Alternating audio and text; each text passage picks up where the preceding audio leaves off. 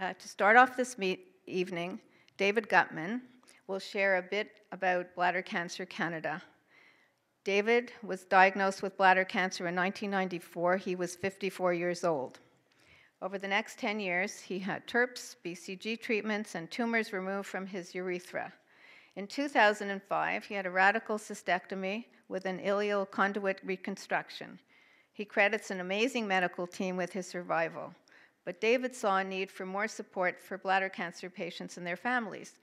So, over five years ago, along with fellow bladder cancer survivor Jack Moon, he formed Bladder Cancer Canada with the goal of assisting others in this journey to be more informed and confident of their future. David.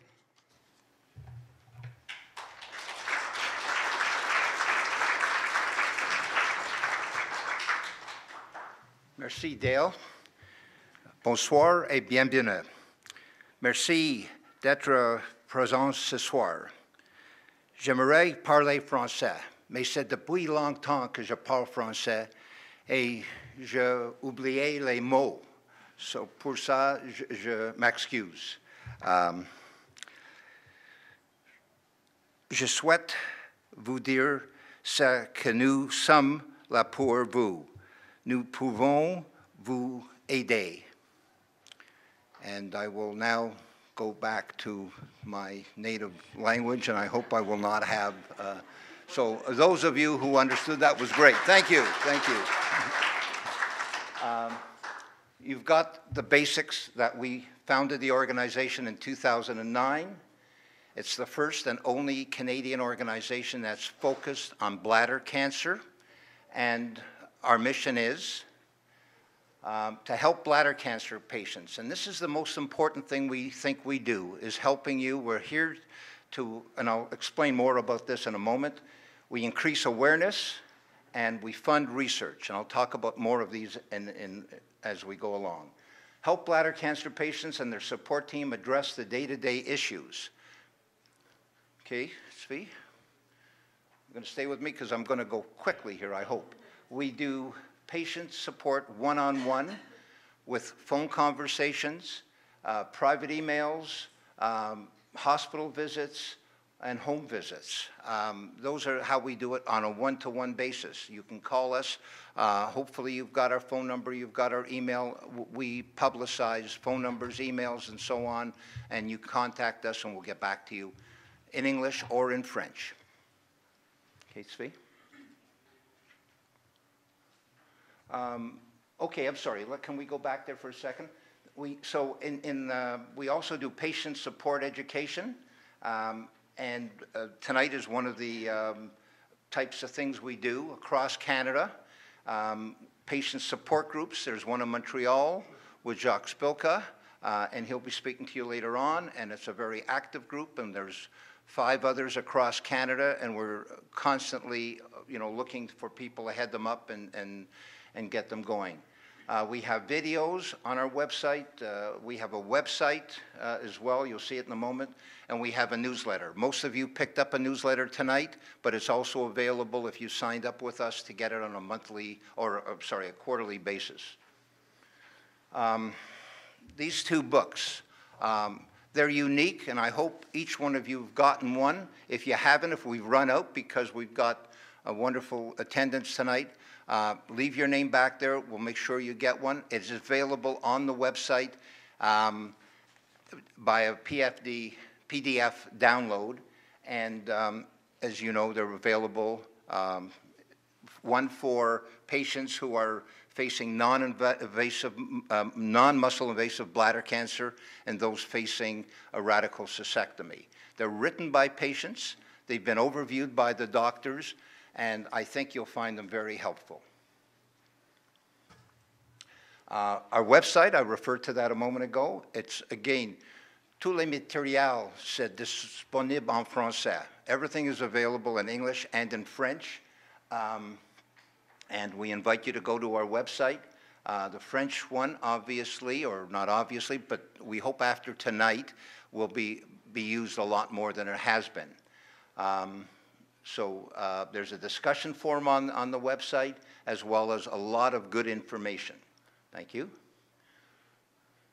um, materials um, to make you aware and make other patients in the hospitals and clinics and so on aware um, that uh, we exist is uh, readily available. Your doctors have those cards as they are in the middle, uh, displayed in the middle, and uh, we invite people to, to come to us, uh, and that's how we make our name or ourselves, make you aware that we are available. Um, public awareness is a very big thing as well. As Dale mentioned, and I'm sure most everybody in this room who was first diagnosed with bladder cancer. Bladder what? And uh, we none of us knew about it, and very few people know about it. Uh, that big sign down at the bottom is in Montreal, was in Montreal. Um, and again, these, uh, th this campaign has been going on for over two years now. Um, research is the third part of our um, mandate. Bladder cancer is the fifth most common cancer in Canada and the same in the States, um, and it's 20th in research funding. It has been a neglected cancer for many, many years, and we are certainly trying to do something about that, and I'll talk about that in a moment as well. We're funding research projects which pursue the diagnosis, treatment, and elimination of bladder cancer.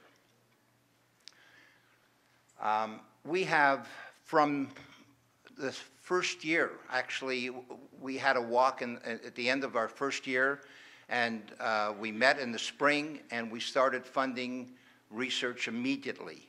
And we continue to fund research. Um, we, um, Dr. Saad, who will be speaking to you in a few minutes, will talk uh, perhaps about some of the research work he's done and his, uh, within his department. Um, and we funded one of the fellows that is in his department. Uh, last November, here in Montreal, we held a quality of care uh, meeting with uh, 20 top urologists and other support people from across Canada came in to talk about how they can increase the, the quality of care for us bladder cancer patients. And I'll talk again in a little bit more detail about the Canadian Bladder Cancer Information System. Uh, the Canadian Bladder Cancer Information System will improve the quality of medical care and overall knowledge about bladder cancer. And uh, the medical professionals will be able to discover important information about practice patterns and outcomes. Uh, this is a unique program. Um, it is the only one, as we know, in the world. We trust we're going to have this thing up and running, have the program, the system up and running, and uh, within a, a, period of time, we hope that others across the world will start picking up on it as well. It will improve the quality of care undoubtedly. Um, I want you to know that the database and all the programming has been done here in Montreal. Um, it, the, the database is maintained here. The participant hospitals across Canada feed the, the, the material, the data in here. And Dr. Kassouf, who will be talking to you, is actually heading up that whole initiative. And perhaps he'll talk for a moment or so of that on that subject when he gets up. Okay? How do we fund ourselves? 86% um, of the money that we make or we, we, we get comes from internally, for, well, I say internally, it comes from our uh, members our people who associate with us, and that is through the Bladder Cancer Walk, Awareness Walk. Svi, um, the walk is responsible for over 80%, it's 86% of our funding, and it brings people together, they connect, they learn, and they help make a difference. Uh, the, the walk in Montreal has been held for a couple of years, and we're hoping to have a real good turnout again this year at the Parc Notre Dame de Grâce uh, on Sunday, the 20th of September 2015. Please stay tuned, talk to other people here from Montreal. We'd love to see you come out and participate in that. It will be a fun day. It will be a, a day that you know will bring the community together and increase the awareness. So uh, I thank you uh, again for coming out tonight.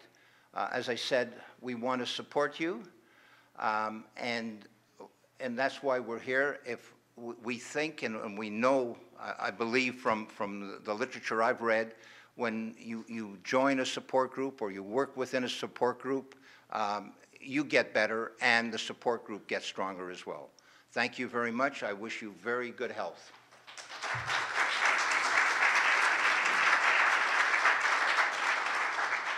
Thank you, David. Thank you for coming from Toronto for our meeting tonight, and we wish you good health as well.